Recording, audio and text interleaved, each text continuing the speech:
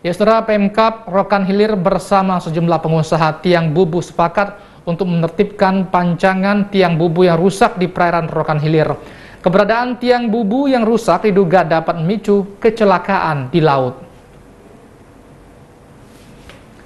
Kesepakatan itu ditandai dengan penandatanganan berkas kerjasama dalam hal menertibkan keberadaan tiang bubu rusak di perairan Rokan Hilir. Kesepakatan itu ditandai dengan penetanganan oleh beberapa unsur, di antaranya pemerintah daerah, Dinas Perikanan dan Kelautan Provinsi, Diskanlut Kabupaten, HNSI, pengusaha tiang bubu dan mahasiswa, dengan poin kesepakatan yang telah diambil.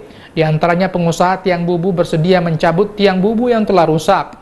Penertiban tiang bubu dilakukan dengan melibatkan masyarakat dan instansi terkait dan mengintensifkan koordinasi dalam menertibkan tiang bubu. Wakil Bupati Rokan Hilir Sulaiman berharap melalui kesepakatan ini dapat mengantisipasi dampak yang ditimbulkan atas keberadaan tiang bubu yang rusak di perairan Rokan Hilir. Pengusaha juga uh, mereka berusaha dengan banyak uh, tenaga kerja.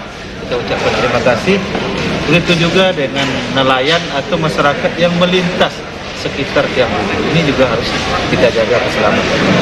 Mungkin selama ini kan banyak juga kecelakaan-kecelakaan tiang Maka tadi Alhamdulillah bangga kita terhadap pengusaha tiang bubu, mereka bersedia akan menertibkan tiang-tiang yang patah.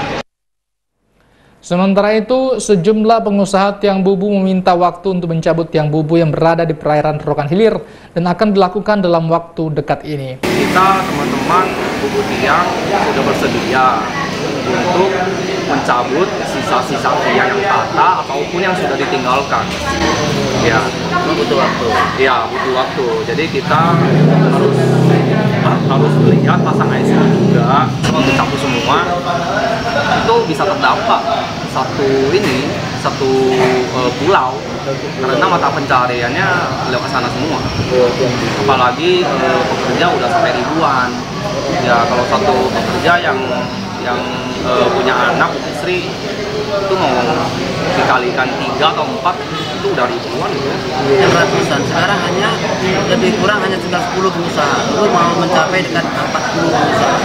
40 pengusaha hilang dan 30 dampaknya terlalu besar. Masyarakat uh, daerah kami Sungai Nyamuk khususnya itu 90% lebih laut, tidak ada darat. Pasir sawit, tidak ada sawah, tidak ada. Jadi mayoritas itu 90% lebih hasilnya dari laut atau bubur tiang. Jadi yang dikatakan orang kita ini betul. Saya tutup bubur tiang, otonomi daerah yang terbesar hanya bubur tiang. Bubur tiang mau makan apa masyarakat? Itu kita Yadi TVRI melaporkan.